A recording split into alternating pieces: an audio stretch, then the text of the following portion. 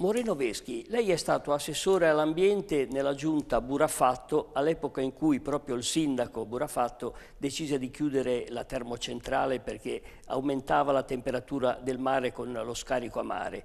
Oggi lo scrittore Maurizio Maggiani ha lanciato l'idea di conservare l'ultima ciminiera della centrale a scopi, diciamo così, turistici. Lei è favorevole o contrario a questa idea? Sono favorevole poi vanno viste tutte le condizioni, va approfondito il problema, ma sarei favorevole all'idea di Maggiani. E perché?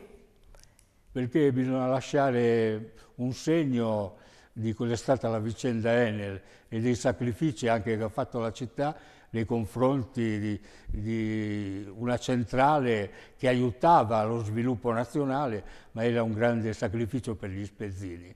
Questo ricordo va, va fatto. Non voglio fare esempi negativi, tipo andiamo a vedere Zaccaua, però il, il, anche quando c'è stato il male o ci sono state delle lotte e così via, va ricordato.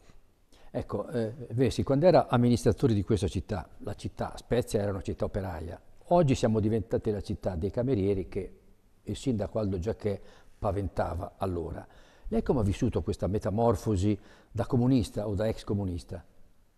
Eh, l'ho vissuta male, perché mi sono, mi sono, formato in una cultura industrialista, diciamo. Sono stato per tanti anni responsabile fabbriche del Partito Comunista e del PDS, ma poi sono preoccupato anche perché eh, si indebolisce la comunità. Tutto non può essere turismo, eh, eh, cioè non, non, possiamo diventare soltanto una città di turisti e di lavoratori precari, diciamo così. Eh, è un modello di sviluppo, non sono contro il turismo, anzi sono per qualificarlo, ma è un modello monoculturale turistico dove tutta l'attenzione è concentrata da parte delle amministrazioni sul turismo, non penso che sia una scelta sbagliata.